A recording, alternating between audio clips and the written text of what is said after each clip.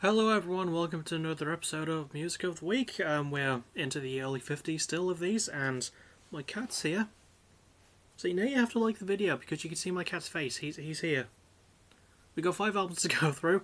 Um, before I start the episode proper though, well, uh, thank you to everyone who watched the Go Home show. It was actually pretty fucking lit uh, for here to the Moment and uh, more, on that a bit later when I've done all the albums, so I should probably do all the albums, so let's do that. Begin in Meadowvale, Mississauga, uh, Ontario, Canada for Billy Talent and their sixth album, Crisis of Faith. These guys have been around for almost 30 years, 29 if you want to be pedantic, and I've been a fan of them for, well, not as long, but I am a pretty big fan of them, and yeah, love this album. Uh, their first one in six years, Afraid of Heights was one of my favourites 2016. Um, I'm giving this album an A minus. It really, yeah, it's just a really good Billy Talent album. Really, really, really good actually. Um, yeah, a bit more. I will say it's not as consistent maybe as Afraid of Heights was, but it's still got a lot of banging tracks. It's still got a lot of complexity to it, as Billy Talent uh, often bring, and I think that's an overlooked thing um, when people think about Billy Talent. Solid performances. Uh, it's the first full album with Jordan Ratbeard Hastings on drums because I don't think Aaron had any involvement because of his illness, which, oh god, I can only imagine that's been made worse because of the, the thing, which I'm not going to say the name of, but goddamn, poor, poor Aaron. I feel really bad for him. But Jordan did a really great job on the drums. Everyone did a really great job on their respective instruments. Ben is still a fantastic punk vocalist, does not get enough credit. Really solidly uh, put together, good lyrical themes, just about everything you would want from a Billy Talent album and more, so yeah, really good. Then move to Winnipeg Idiot in Manitoba, Canada for Comeback Kid with their sixth album. I think it's their sixth. Let me look. Uh, it's their seventh. I was wrong. Um, but it's their first in five years, so it's also a long gap, and it's titled, here it is, uh, Heavy Steps. I got there eventually. So, yeah, um, I'm a big Comeback Kid fan. I mean, their album, uh, their 2014 album Die Knowing was my favourite album of 2014. I liked Outsider a lot, but back then I wasn't doing top 30s. If I did that, probably would have been on there somewhere. Really liked this. Not gonna lie, giving it an A. You know, uh, not one of their longer albums, but it hits fucking hard for like their particular brand of hardcore punk. It absolutely slams into you. Really heavy stuff. Really like a lot of the lyrical, lyrical themes as well. More focused on like um, you know things like disenfranchisement and betrayal and um, things like that.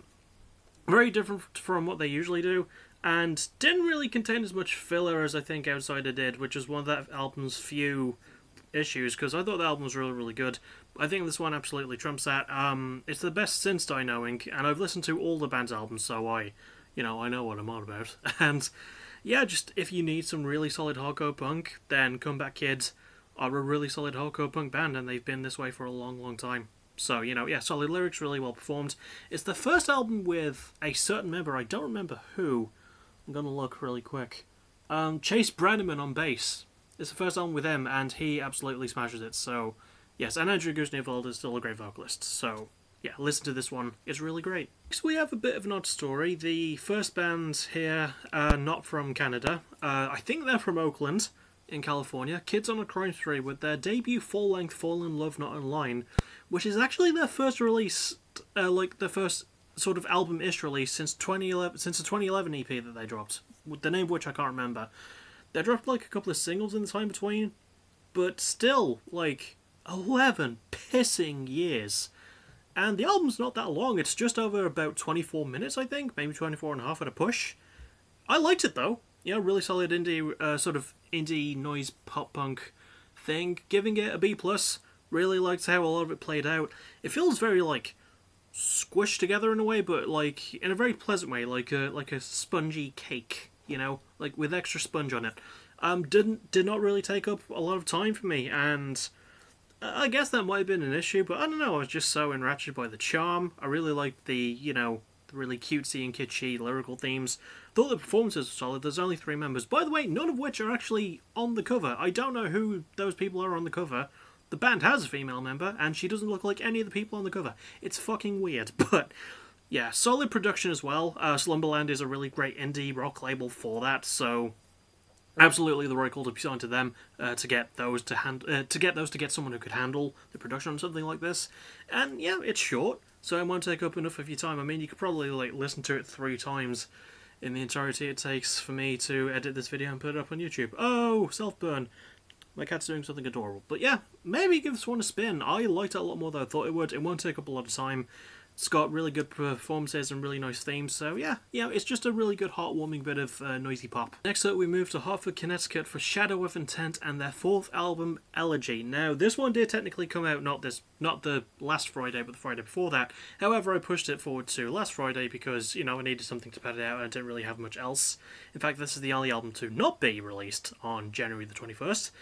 And it's my second album by Shadow of Intent. I listened to Melancholy, I really like Melancholy, but it took me a while to fully appreciate their particular style of more symphonic leaning deathcore. It's the band's first album in three years, so it's their longest gap. And this is an early album of the year contender for me. A plus all around. First of all, right, first album with new drummer Bryce Butler, who fucking smashes it. He's so so good, and oh, it's it's great. I, I can't really think of a thing I hate about it. Like if if um, Kids on Crime took the took the uh, mantra that less is more, then Shadow of Intent decided that more was more because this album is an hour long and it does not waste any time at all. It goes so many places, it's so musically complex. Lyrically, it's fucking great too. It's got a lot to say in, in its lyrics. The performances are brilliant. Love how it like manages to fill the hour long length with so many fun things. Great structuring, like perfect structuring, or I dare say. And the production is so good. How it adds in the symphonic elements to the really, really heavy stuff. I can't really say much else good about this. Just listen to it. Everyone's great. Uh, Bryce Butler makes a stunning debut on the drums. Fuck yeah, just listen to Elegy by Shadow of Intent. I you know, it, I'm fully turned around on these guys. Like, I did sort of like them before, but this is the album that's decided it for me. And finally, we go to the only British band on the list, with Leeds, England's own Yard Act, and their debut, The Overload. Uh, this was a very anticipated one for this year, although is it really anticipated if it comes out in January? I think it's more anticipated if it comes out in the middle of the year. But yeah, um, as it goes, this is a really nice bit of, like, sort of post-punk, indie, British stuff, you know, very good vibes of Britpop, not quite the same good vibes as 2021. And I know a lot of people are going crazy for this album. I'm only giving it a B. The reason I'm only giving it a B is because it sucks now. Um, the, main reason is partly because I was just reminded so much of Sleaford Mod's last album, and I was like, I don't want these guys to just do a full. Okay, granted, the difference is that Sleaford Mods are more of like a lo-fi hip hop group, and you know, um, Yard Acts bring in guitars and stuff, and there's some pretty good instrumental work but it feels weirdly unstructured in a way that works because like there's no exact like verbiage structure with the words. And again that does work for it but like it's such a weird thing.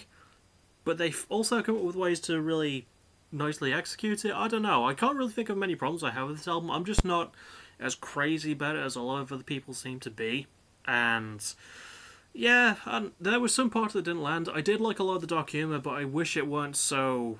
You know, I wish they were more consistent with it. There were some moments in the album that made me laugh, and the song "Tall Poppies" just about made me cry. Not with laughter, like with actual tears. That is a brilliant story for a brilliant song. Probably one of my favorite songs of the year, I'm being honest. Even though the album is the lowest graded, but considering it's a B, I don't think that's a terrible thing, you know? And I still recommend giving this album a try because it is a really good debut, and I am looking forward to what's next. I'm just, like, not going fully all in just yet, you know?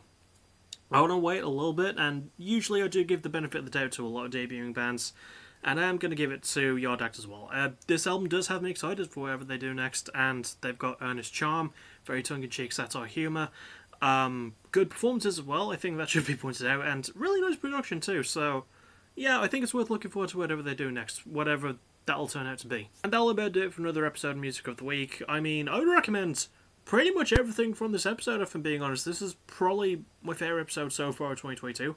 Um, I I could just recommend legit all of them, and I do, but the one that you must listen to, even if you're not a super big fan of such a heavy genre, is Elegy by Shadow of Intent. Listen to the album. It's an hour long, yes, so it's going to take a bit of time, but find something to do, or just don't find anything to do and just focus on the album.